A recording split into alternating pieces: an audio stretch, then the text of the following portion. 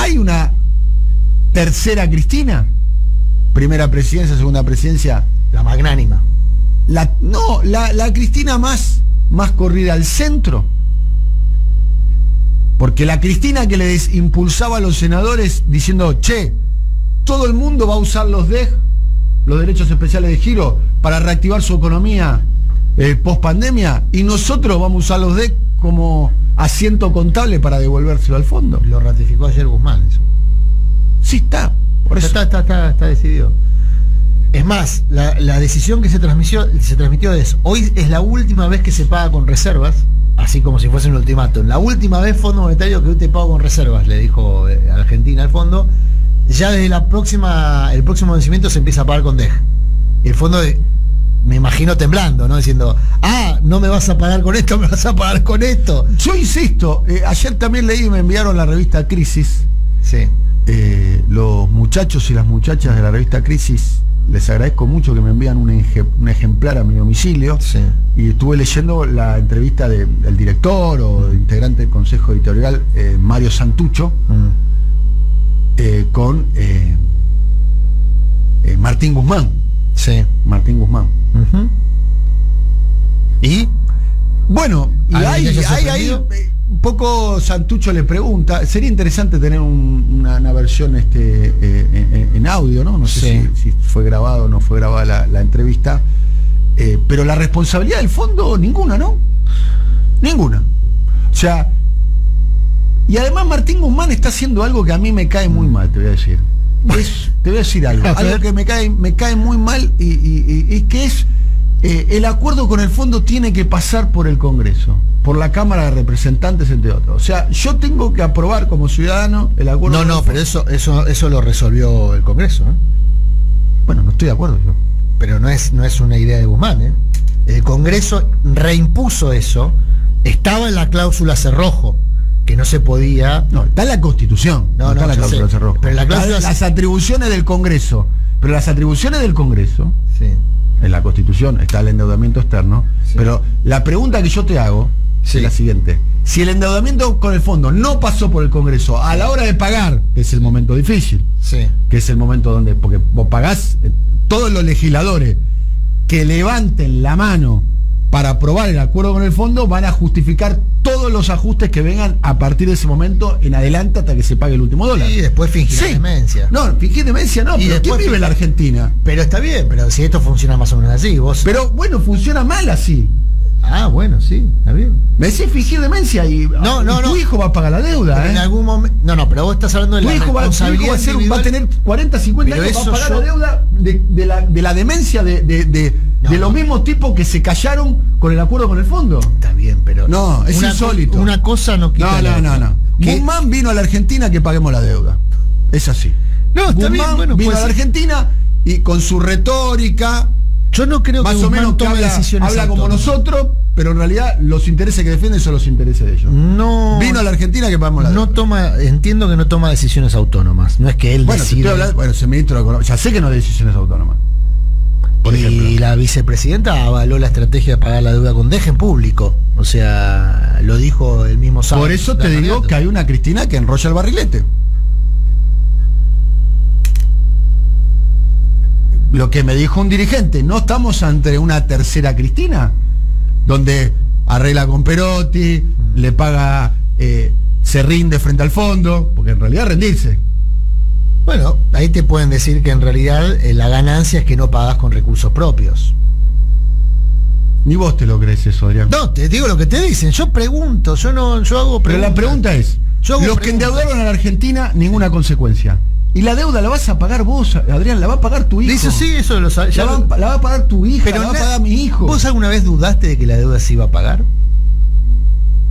Yo no Me dijeron otra cosa. No, bueno, a mí me. me dijeron otra cosa. Yo escuché que la deuda se iba a revisar. Adrián. Me dije que no se iba a pagar. ¿Vos no viste la ¿eh? campaña donde el presidente. Se iba a revisar. Nunca. El presidente. no pago de la deuda externa es un, es un es una antigua consigna de, las izquierdas, el no pago de la deuda Pero el presidente dijo nunca más. Ah, eso sí, no volver a endeudarse, decís vos. ¿Nunca más era no volver a endeudarse o qué? ¿Cómo lo interpretaste vos? El nunca más de la deuda yo lo interpreté como una investigación de la deuda. Para que haya un nunca más, a ver. Yo lo interpreté como una investigación de la deuda, cosa que tampoco ocurrió, ¿eh? Está bien. La pregunta es la siguiente: ¿qué es el nunca más? ¿Quién dijo nunca? ¿Cuál es ¿Cómo se incorpora la palabra nunca más a la Argentina? ¿Quién la incorpora? Sí. La CONADEP. Bien. pero ¿quién la incorpora? el gobierno de Alfonsín. Pero ¿en, qué? ¿Cuándo lo escuchaste vos? Después de la investigación de la CONADEP sobre los crímenes. El fiscal es trasera. Y el fiscal es trasera. Bueno, nunca más. Usa la frase. El nunca más es producto de un proceso judicial. Sí. Para que haya nunca más, tiene que haber un proceso judicial. Lo demás es vender humo. Lo vender humo. Ah, ¿Lo tenemos? A ver, vamos a escucharlo, a ver. A ver. Señores jueces, quiero renunciar expresamente a toda pretensión de originalidad para cerrar esta requisitoria.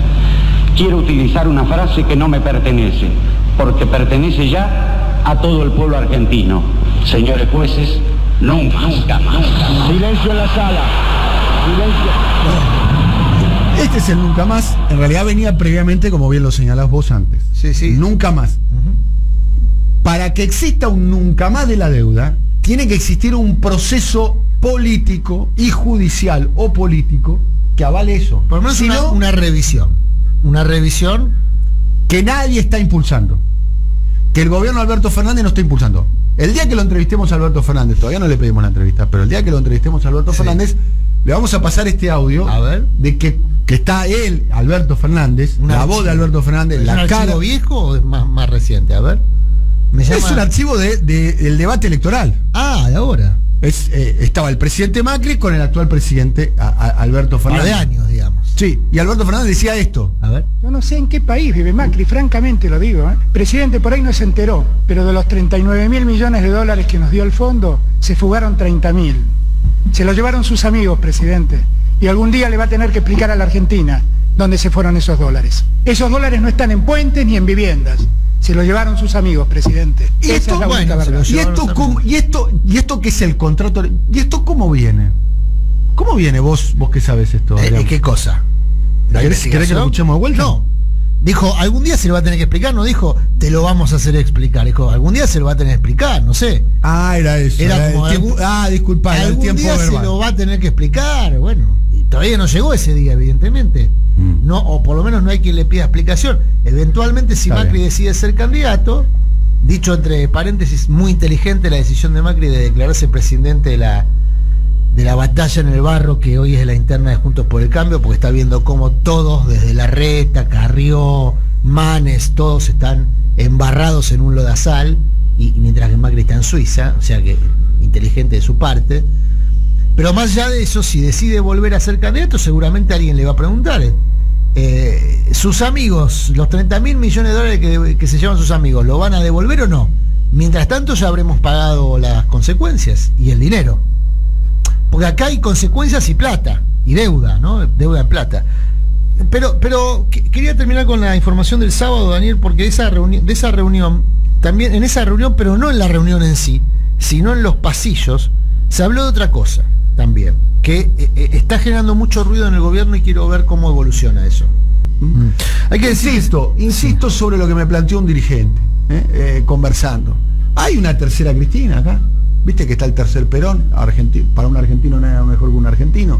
Hay una tercera Cristina más que se pone por encima de los conflictos. A mí, conversando sobre este tema, cuando me puse a averiguar sobre la cuestión de Santa Fe, me dice, Cristina dice que no se puede perder, en esta circunstancia, no se puede perder un gobernador la, expresión que me dicen a mí, una persona cercana a Cristina, es no podemos perder, no podemos regalar un gobernador. Y un gobernador de una provincia que es una provincia central, que de todas las provincias de la zona núcleo es la única provincia ganable, ganable. ¿Y para qué? Perdón que esta pregunta incómoda para la, en la era de la Realpolitik. ¿Ganar para hacer qué cosa? Porque hay cuestiones que son Porque ganar por ganar, ganar para estratégicas. Ganar para que se, Vicentín se la quede Glencore. ¿Ese es el objetivo? O sea, ganar para que Vicentín se la quede Glencore. ¿Para qué? Hay un aspecto de la Realpolitik que a mí me parece fantástica, me divierte, la rosca, todo, pero hay un aspecto de la Realpolitik que pierde totalmente de vista los intereses de los votantes a los cuales se apela. O sea, está bien, ah, no se puede perder un gobernador. ¿Para qué? Para que la hidrovía se la quede. Eh, bueno, no voy a dar ningún nombre de ningún empresario porque todavía no se cerró ninguno. Para que Vicentín se la quede Glencore. Para que Perotti tenga. Bueno, no puede tener continuidad personal porque no hay reelección en Santa Fe. Para que hegemonice, como dice Rossi, si es que ocurre, la política de la provincia en una orientación parecida a la de Córdoba? Ese, ¿Cuál sería el mérito de que gane Perotti en esas condiciones? No tuve la oportunidad de conversar con. Pero yo eh, entiendo lo que vos decís. Con, Rossi. Pero Seita asesora también a Massa. Sí, y asesora a Kravitz en provincia y, es el creador. Kravitz digo que es una figura Diego Kravitz más relevante. Es el jefe de gabinete de, de Grindetti, pero además está, está llevando adelante alguna estrategia también de varios intendentes. Es decir, sí, Seita es un tipo, ya sabemos, con, ideas políticas, no es solamente un asesor de comunicación. Ahora, yo vuelvo a este punto, ¿eh? porque yo entiendo que la estrategia, lo importante es ganar, pero cuando a mí me, responden eso, yo devuelvo como pregunta, ¿para qué? ¿Para hacer qué cosa? ¿Para pagar hoy 300 para el Fondo Monetario eh, con recursos de, del Tesoro? Es una decisión política, está fenómeno pero que se explicite. Porque si no, vos apelás a un votante con un discurso totalmente, con una propuesta, que es lo que escuchábamos antes de Alberto Fernández, totalmente distinta. Entonces estás malversando tu contrato electoral. Vos prometés una cosa en elecciones y después haces otra en función de que lo importante es ganar. Es raro. ¿Para qué? Ahí sí, yo sé me van a acusar algunos oyentes seguramente de troquearla con esto que No, hay muchos que te están no, pero digo, Pero, pero digo, a mí me sigue importando el para qué, para qué se vota, para qué se apela al voto. Digo, eh, eh, a mí me dicen, a mí lo que me dicen es lo siguiente, Cristina tiene un dron. Por eso Cristina es Cristina. Y además lo que me decían ayer, Cristina cedió la presidencia. Porque la verdad que entre Cristina y Alberto estaba para que encabece más Cristina que Alberto se dio la presidencia para ganar y ella considera que hay que hacer movimientos tácticos para ganar. Pero ganar y la Lewandowski, Marcelo Lewandowski, se llama Marcelo, ¿no?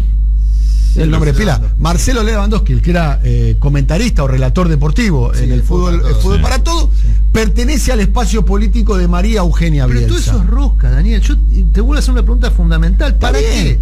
Pero, a ver, para ganar. Pero para ganar, ¿para qué? ¿Ganás para Para ganar, porque es un distrito Déjame decirte lo que me dicen a mí, porque yo no conozco de política de nada, ni, no conozco la política de Buenos Aires. Vos mucho. No, de Santa Fe hablo con los que saben. ¿Qué me dicen a mí? De la zona núcleo. Es la única provincia que es ganable por el peronismo. Ni Córdoba, ni Mendoza.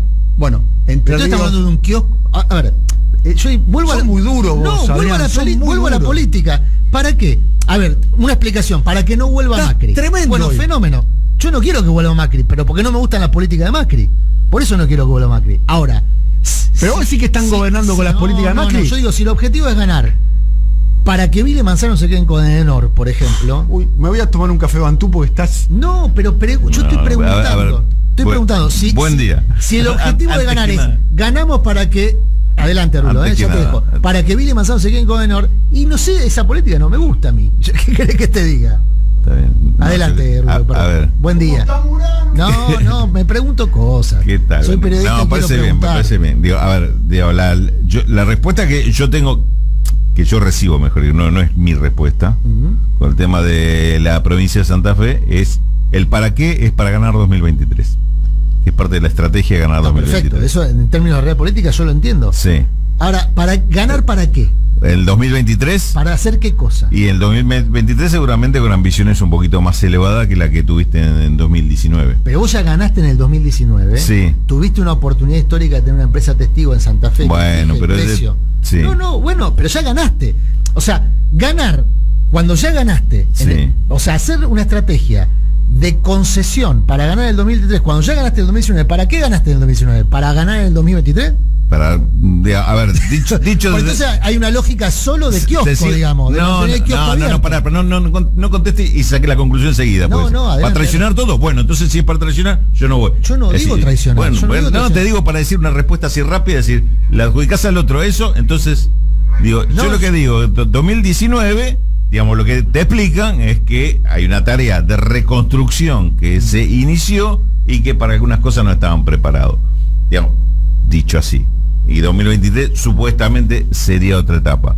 Supuestamente. En el medio, vos tenés a Perotti gobernador y Perotti gobierna a lo Perotti. Tampoco le pida. No, no, yo lo tengo claro. Perotti y al Olmo, digamos, pero este. Ni, Por ejemplo, ni, al, Olmo de acá porque estamos en la misma. A mí me dicen, hay que ganar, hay que ganar esta, digo, eh, digamos, estratégicamente se plantea hoy perder a Perotti y perder la provincia te daña la posibilidad de ganar en el 2023. Pero Perotti se pierde, Perotti no tiene reelección, por empezar, ¿no? No, no, no, no tiene hoy, salvo que reforme la constitución. No, no tiene reelección. Bueno, entonces, ganar en el 2023 sería ganar con otro candidato, otra candidata. Sí. ¿Qué es lo que se está disputando ahora? ¿Qué, es lo que, está disputando Rossi ahora? Por ahí vamos, claro, ahí vamos. Rossi está disputando. A Rossi le dice, estás adelantando la pelea 2023. Rossi lo que está viendo es que no hay pelea en el 2023, pero digo, para, para, resolver rápido lo de Santa Fe, Rossi lo que está viendo es que no hay pelea propia, suya, en el 2023, si no da esta pelea ahora porque se queda sin espacio. Entonces, es un tema de conducción política lo que pasó en Santa Fe. El que le pone fichas para que vaya Agustín Rossi, ya sabemos quién es, es plin plin plin. Y después enrolla al barrilete y Rossi dice. Ya, inclina la cancha. y quién está del otro lado también se sabe quién es. Sí, está Y si, y si tenés alguna duda, espera el lanzamiento de esta tarde. Estoy pensando. Espera quién, quiénes van a jugar por el, lanzamiento de esta tarde. Para, Omar Perotti, ¿no era el jugador de boca que agarró a un árbitro del, del cuello? ¿Cómo se llamaba el árbitro? no me acuerdo. Ah, el árbitro no me acuerdo. Turralde, ¿no? Porque había un árbitro en los 80 que era Iturralde que, que, que además eh, tenía una rima muy fácil, ¿no? Sí. Iturralde. yo, lo que, yo lo que digo es, cuando vos preguntás para qué, hay, hay respuestas. Una es, hay que ganar la elección de medio término para poder tener la mayoría para hacer las reformas que hay que hacer. Eh, fenómeno, esa es una Por ejemplo, para, es una explicación. ¿Me dejas, Adrián? Un, Pero perdón, ¿eh? Para un argumento a tu favor, por ejemplo para pagarle al fondo, que le van a hacer levantar la mano a todos los diputados para que avalen el pago al fondo, ¿eh? ya Guzmán además nos está convenciendo de eso, porque vino a eso, a que paguemos la deuda. Ah, Cristina, Necesitamos, necesitamos los votos. O vos decís, no, no, ahí no necesitamos los votos porque me parece que cambiemos va a levantar la mano. Las dos manos van a levantar Tal vez no, porque cambiemos, cambia, como eh, indica su nombre. Igual ya no cambia, es juntos nada más, ya no tiene nada por cambiar.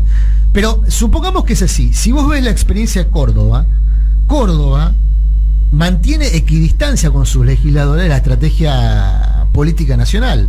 Es decir, los presta o los quita en función de sus propios intereses. Y son intereses sectoriales, digamos, de una provincia. Pero pone a los diputados, a los legisladores, en función de esos intereses, a coordinar o no con eh, legisladores del peronismo. Así que nada te garantiza que los legisladores de Santa Fe, que eventualmente respondan a Perotti en una estrategia de triunfo electoral de Perotti o de lo que sería el perotismo, no sé cómo se va a constituir. Los senadores ninguno son del espacio de Perotti. Lewandowski pertenece a María Eugenia Bielsa. La aspiración es que entre uno solo, ¿eh? La aspiración real. Se puede ganar. se puede ganar. Se puede ganar. Se puede ganar. cambiemos va, cambiemos tiene cuatro listas. Sí, sí, se puede ganar. igual para mí, lo mismo que el frente de todos confluye. Para mí es difícil el día después, insisto, si pierde Perotti, hay una crisis institucional si pierde. Perotti necesita sacar los dos senadores porque en la estrategia personal de quedar como suplente para tener un cargo luego del final de su mandato como gobernador, el mandato de gobernador le quedan dos años, el senador le quedan seis, entonces tiene cuatro años de mandato, necesita que entren los dos, porque si entra solo a Lewandowski, después no basta con hacer renunciar a Lewandowski, tiene que hacer renunciar a Lewandowski y a Sagnun. Ah, está bien, bueno, ya tiene que hacer renunciar a dos personas para que quede Perotti, no es tan sencillo. Y ninguno de los dos son de su espacio político, como dice Daniel. No. tenés que hacer renunciar a mucha gente que no es de tu espacio de, los cuatro expectantes, por ejemplo, el que encabeza la lista de diputados es Mirabella, que es la mano derecha de Omar Perotti. pero después, después está la cámpora. Bueno, pero la estrategia de Perotti irá con Mirabella. La estrategia de Perotti, bueno, pero Perotti se dio. como suplente a mí ella sí va a renunciar. A mí lo que me cuentan es que Guado de Pedro lo llevó a Omar Perotti al despacho de la vicepresidenta de la Nación en, el Senado, en el Senado y eh, Cristina hizo la mejor estrategia para ganar. Bueno, está fenómeno. Que a Agustín Rossi le pusieron ficha para que arranque y en un momento le dijeron Royal Barrilete y, y Rossi dijo no. Eh, yo digo, la estrategia electoral me parece fantástica, bajo las funciones. Yo sigo preguntando ganar para Ayer Horacio Berbisky, que es un colega de ustedes, que uno presume. No, y tuyo también porque es animador radial ahora también. Es conductor, no sé si es animador. Hay que preguntarle si se autopercibe como animador. En el momento en que está animando, anima. No sé. Bueno. Para mí le está bajando el precio ahora, no, diciéndole animador. Para mí es un multi. Está bien. Tiene multitasking. Cuando lo entrevistemos le preguntamos, che, ¿sos animador radial? Se autopercibe animador radial, lo llamaremos animador de radio. Bueno, entonces, ¿qué dijo Berbisky? Eh, que es eh, periodista. ¿no? Tiene, tiene, su, su, fuente de información. Y, demás. Eh, escribió en el día de ayer. Uno presume que está bien informado, Berbisky, ¿o no? ¿Y sí? ¿No? Sí, sí, sí. Tiene buena información. ¿Sí, estamos de acuerdo? Sí, sí. Que está bien informado, sí. Que está bien informado. Después, bueno, con esa información puede razonar equivocadamente o no. Claro, hay que verlo. De, ahí a lo que informa es, es un paso, ¿no? paso largo. Sí, sí, dale, estabas diciendo de Horacio Berbisky. Horacio Berbisky, que y su nota. colega de usted. No de la información que tiene, hablamos de su nota ahora, ¿no? Sí, sí, de la nota de ayer. Sí. ¿Qué dice? Dale, dale ¿qué dice la nota? Horacio Berbisky, sí. en el día de ayer, sí. en su nota que escribe eh, en el, el, el, el, cubete, el a la luna, sí el cohete a la luna, que algunos como lo llaman el alcahuete a la luna. No, basta, basta. Alá. ¿Qué dice? Alá, no estoy de acuerdo. Yo no, por favor. Pero se está reeditando su obra en el, perro. Toda la obra del perro se está. No, te digo, de tanto abrir ventanas se nos va a escapar y nos vamos a olvidar. ¿Qué es lo que además tenemos que terminar ahora. A la porque tenemos. igual quedaste un ratito más si tenés. Eh, Horacio Berbisky dice, que uno presume que está bien informado, y además es una nota bastante chivorrosista la nota, para decir un modo elegante. Ajá. ¿Qué dice? Dice que Cristina pensaba que tenía una alta calificación de Agustín Rossi, que, pensaba que Agustín Rossi debiera de ocupar la jefatura de gabinete. Se lo mencionó como jefe de gabinete ante Lo escribe Horacio Berbisky, que en la cabeza de Cristina, lo cual para mí el jefe de gabinete que hay es, el jefe, muy bueno porque es un colaborador del presidente y el presidente tiene Pero para eso tendría. Pero si vos mañana te levantás a la mañana y le abrís el diario y decís Agustín Rossi, jefe de gabinete, vos decís, para mí es un tipo capacitado para el cargo, absolutamente. En mi opinión. Hablo como ciudadano. ¿Puedo hablar como ciudadano o no? Sí, pero lo que pasa es que no, no, está en el. No, de ninguna manera, porque hay un jefe de gabinete que es inamovible. No, pero no, está en la mesa chica del presidente tampoco, hoy por hoy, Rossi. debiera entrar a esa mesa chica, hoy no estaba. Para mí, Rossi por comete, eso sorprendió. comete un pecado que es gravísimo. Tiene ideas propias. Bueno, una, una última cosa antes de. Algo que está muy mal visto en general. Sí, en política en general, sobre todo en los espacios políticos con cierto grado de organicidad, digamos, porque el peronismo tampoco es muy orgánico, pero cierto grado de organicidad. Eh, eh, sí, las ideas propias en general están subsumidas dentro de proyecto común. Termino con este dato, porque yo le preguntaba a Rossi, eh, y no era ocioso, una de las sospechas de que se empezó a inclinar la cancha en favor de la candidatura de Lewandowski y Salnún por parte del gobierno de Alberto Fernández, que le hizo un guiño a Rossi, porque básicamente toda la estructura de Levita que sería el albertismo de algún modo, está jugando con Rossi, es que se le pide la renuncia pública a Rossi, casi como una especie de reproche, por, no, por, continuar con su candidatura, cuando hay muchos funcionarios que se enteraron ese día que tenían que renunciar porque son candidatos. Muchos. La cuenta que se hacía el sábado ahí en la zona de Chacarita era que hay unos 30 35 funcionarios que debieran renunciar porque son candidatos a distintas cosas en su ah, provincia. Por eso renunciar, no porque. No, no, no, pues son ah. candidatos a distintas cosas. No los haga renunciar ¿qué decía, ¿Qué decía uno que dijo yo ni en pedo renuncio? Y usó esas palabras después. Ni en pedo, dijo. No, después, cuando le dijeron, che, que el, que el castellano. No, porque cuando se supo eso le empezaron a llegar mensajitos, ¿viste? Como medio en joda, me dice, uh, te vas a tener que ir, vas a tener que dejar la subsecretaría. Ni en pedo. ¿Subsecretaría? Hay uno que es subsecretario. ¿Quién? No, no. No, no, no, porque estamos hablando de. Me, estás, me quieres hacer trabajar ahora. No, Vos sos pero un subsecretario. Un lunes a la mañana. El candidato a subsecretario lo hace renunciar. Averigüen ustedes que son periodistas. Pero también no, no, no empecé con. Averigüen ustedes que son periodistas. Pero, aparte, pero. Una cosa es que te hagan renunciar un ministro, otra un subsecretario. Bueno, subsecretario importante. Este. No, no, igual, perdón, la, la política que dispuso Fernández es. No hay. De hecho, Tolosa Paz era una funcionaria de honorem del Consejo de Contra el Hambre y también renunció por, por un deber ético. Ojo que este lío se traslada a provincia de Buenos Aires. ¿eh?